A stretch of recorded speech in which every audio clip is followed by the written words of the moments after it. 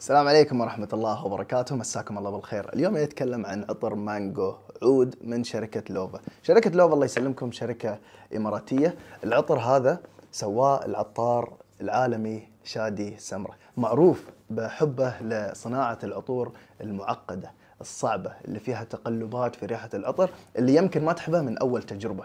فتعطيها وقت. أنا أشوف إن العطر مناسب للناس اللي يبون ياخذونه حق مناسبات أو حق الأوقات الباردة أكثر أو أماكن مسكرة يعني وما يبي يرش منه وايد لأن العطر صراحة فواح نفاذ وقوي وعميق. فالمكونات الأساسية اللي داخلة في صناعة العطر غير المكونات الكيميائية أتكلم عن المكونات اللي ممكن نذكرها هي الكونياك اللي معطي ريحة بوزية وكذلك اللمسات الزهرية أزهار بيضة والمانجا الهندية اللي ماخذة الطابع الاستوائي كذلك طابع لاكتوني كريمي حليبي كذا وال ambergris عنبر الحوت مستخدم في العطر.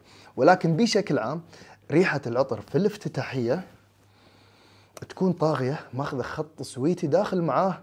العود. العود هني مستخدمين عود تايلندي كذلك يدعم الريحة ال sweety ية لكن في تنافس ما بين ريحة المانجا الطاغية ودخول العود. بعدين يبرد العطر ياخذ خط المانجا أكثر بطريقة استوائية ودخول اللمسات اللي مثل ما ذكرتها قبل شوي اللي هي الأزهار البيضاء. ال ambergris أو عنبر الحوت هني أشوفه داعم للعطر أكثر.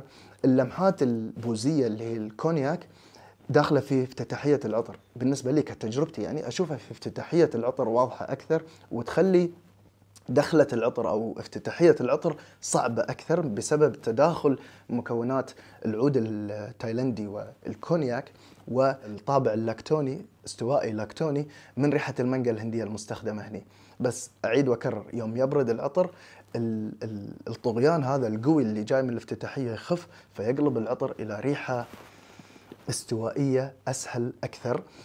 ريحة المانجا اللي ماخذ الخط السويتي الاستوائي تكون واضحة مدعمة بريحة الأزهار البيضاء ووجود العود. طبعا طول فترة استخدامك للعطر وصراحة عطر جميل ويستاهل التجربة. مو بذوقي ولكن العطر يستاهل صراحة. حبكة عطرية يشكر عليها العطار شادي سمرة. الحبكة العطرية اللي جاء منها تسمية العطر والإيحاء اللي يبون يوصلونه واضح جدا وصريح في العطر ريحة المانجا بدخول العود. وشكرا لكم. السلام عليكم ورحمة الله.